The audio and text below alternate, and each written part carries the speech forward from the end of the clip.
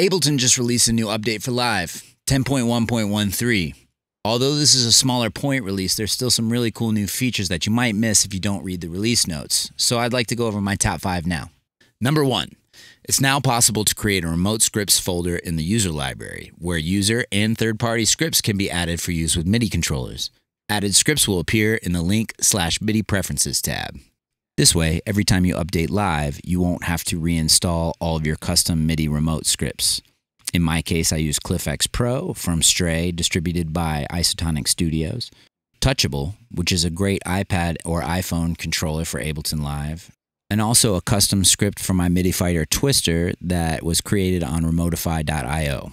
Number two, while recording on push, pressing the fixed length button near the end of a segment of time that corresponds with the global quantization setting will cause Live to wait until that amount of time has elapsed before stopping the recording. In this case, I can see my fixed length is set to 4 bars by holding down the fixed length button.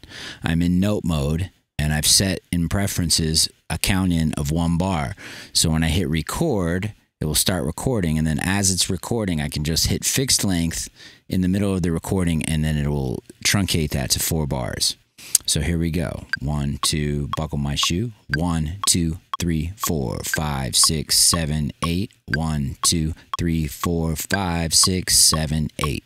One two three four five six seven eight. One two three four five six seven eight.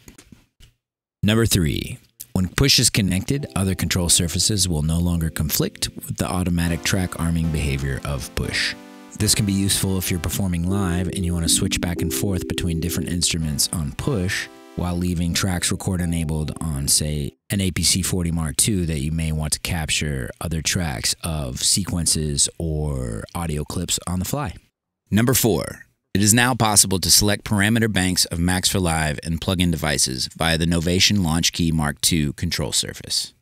That's done by pressing and holding this in control button next to the knobs and selecting which bank of parameters you'd like to control along the top row of pads. In this case, I'm changing the banks of operator as indicated in the bottom left of the screen.